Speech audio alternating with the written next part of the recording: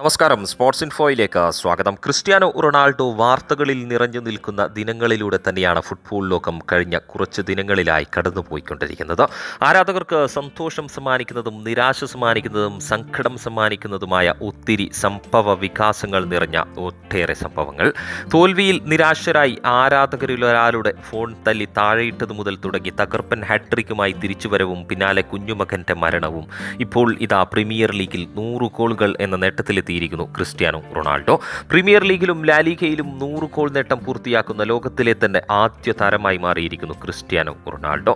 Emirates സ്റ്റേഡിയത്തിൽ ആർസണലിനെതിരെ മത്സരത്തിന്റെ മുപ്പത്തിനാലാം മിനിറ്റിൽ ഗോൾ കണ്ടെത്തിയായിരുന്നു റൊണാൾഡോ ഈ നേട്ടത്തിലെത്തിയത്. ഗോൾ നേടിയ ശേഷം ആകാശത്തേക്ക് വിരലുകൾ ചൂണ്ടിക്കൊണ്ട് തന്റെ മരണപ്പെട്ട മകന് ഗോൾ അർപ്പിച്ചായിരുന്നു ക്രിസ്ത്യാനോ റൊണാൾഡോ ഈ നേട്ടം ആഘോഷിച്ചത്.